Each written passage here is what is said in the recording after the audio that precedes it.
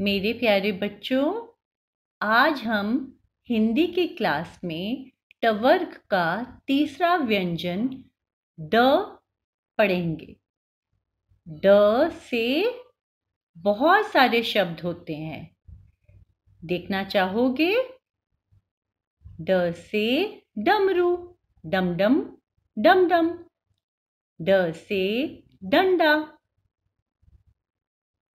ड से डोली। ड से डाकिया। डाकिया वो होता है जो हमारी चिट्ठियाँ यहाँ से वहाँ लेके जाता है। ड से डरना। ड से डिब्बा। ड से डगर। डगर का मतलब रास्ता। ड से डोसा। जो हम सबको और आपको बहुत अच्छा लगता है। ड से डबल रोटी। ब्रेड को हिंदी में डबल रोटी कहते हैं। अरे, ये बच्चा, देखो ड से डूबना।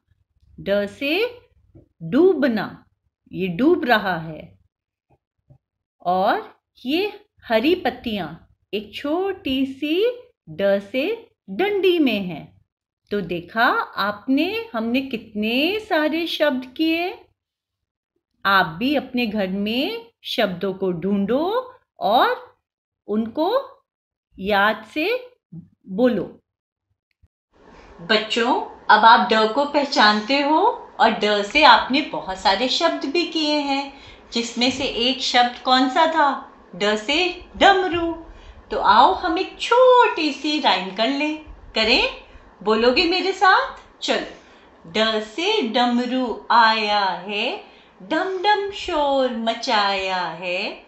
ड से डमरू आया है डम डम शोर मचाया है। मदारी जब इसे बजाए, मदारी जब इसे बजाए, भालू अपना नाच दिखाए। मज़ा आया? आपने ये कविता करी, शब्द करे तो अब हम ड को कैसे लिखते हैं देखें? चलो आओ। अब तक तो आप हिंदी में जान चुके हो हम व्यंजन कितनी लाइंस में लिखते हैं।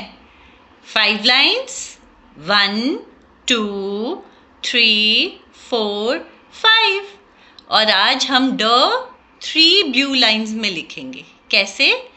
बहुत आसान है। फ़र्स्ट ब्लू लाइन में हमने छोटा सा दादाजी का डंडा बनाया। देखो, छोटा सा डंडा। और इसके नीचे हमने ममा एस को ऐसे करके टांग दिया। और क्या ये पूरा हुआ? इसके ऊपर अभी हमें छत भी डालनी है। तो ये बन गया आपका ड से डमरू? हो गया ना?